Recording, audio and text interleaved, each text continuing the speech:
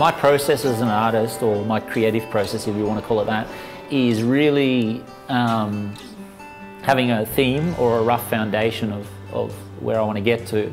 And then it's sort of like Mr. Squiggle, you know, the television program you watch when you're a kid where you draw a whole bunch of lines and shapes and then you step back and you try to actually look within that and see, do, oh, do I see a face here? Or do I, what does this look like? What does this look like? So it's almost like the random lines and shapes that, that I draw and I create tell me how the artwork should be. And then also, because I'm doing this painting live, a lot of people will come in and say, well, I thought that was this, and I know this about coffee, and that will actually fuel the ideas as well. Um, so it's sort of like a collaboration, I guess, between me and the audience. So start outlining here and then just move as fast as I can, half an hour maybe. Fantastic day. So yeah, ooh, would you like a cup? Would you like a cuppa? Beautiful morning. Hey guys, it's uh, Cam from Dope Source Media. Uh, we're here at the beautiful Circular Quay today and uh, we're just about to uh, do a little hyperlapse for James who's uh, working on his little coffee masterpiece.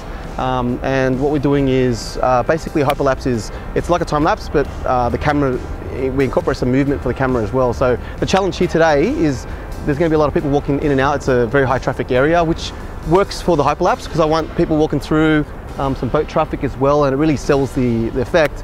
Um, the challenge today is that we couldn't actually set up any like tracks or, or any heavy equipment, so I'm just manually going to be moving the tripod uh, every interval. Okay, so right now Ken is getting close. Uh, it's probably been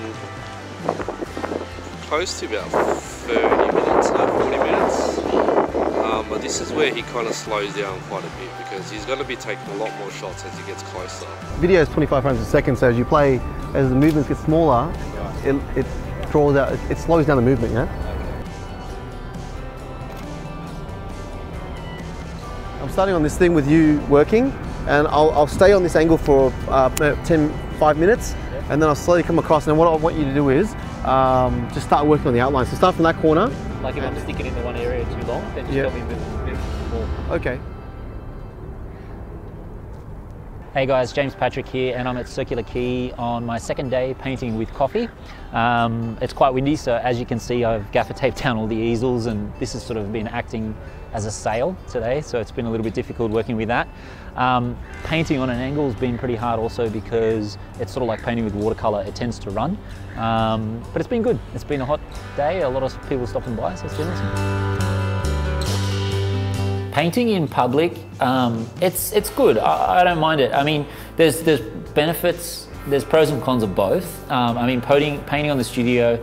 Um, one thing that is good is that I can be watching television and doing a whole bunch of other things. But I guess the downside to that, it can be easy to get distracted. When you are working in an environment like this, in a studio where people are watching you, it does force you for you know eight hours or for however long I'm going for to work for, for all of that time and it forces you to really just tune everything out and put pen to paper, which is good. It's a good thing. At the moment we're in the studio working on the coffee artwork. Um, I've got it on the ground laying it flat because when you put it up on the easel, much like working on a watercolour, the, the coffee tends to run. Um, and what I'm trying to do is build up um, some darker areas in the artwork so I've got a better level of contrast. At the moment, it looks like, looks very obscure, looks very weird because people can't see what's gonna, gonna happen. Um, but once all of the heavy dark colors dry, then I'm gonna start to cut in all the detail and pull the pictures out of it.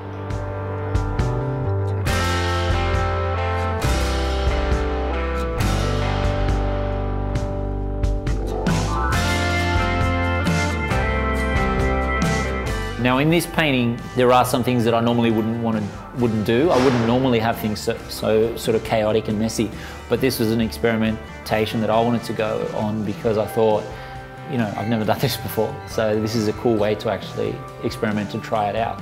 Um, and I mean, I think that's what art is really. I think most artists, you, you, you know, we're just trying to figure it all out, you know, no matter how long you've been doing it for.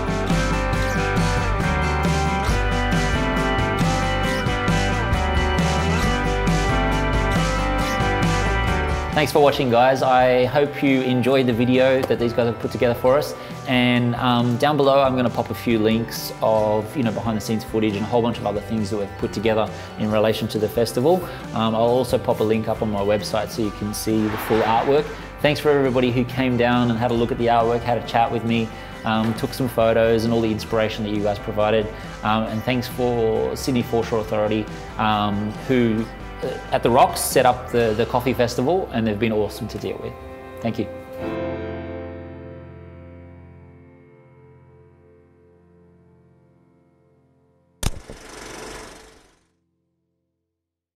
There's one here. There's one there. Um, oh, look.